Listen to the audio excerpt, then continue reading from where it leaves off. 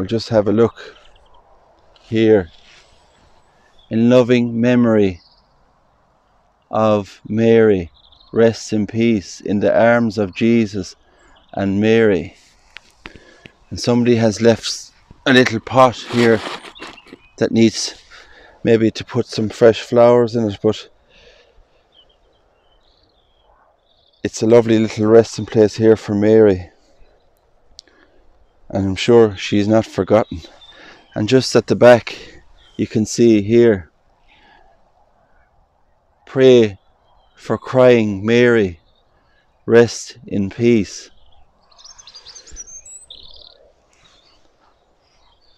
So rest in peace.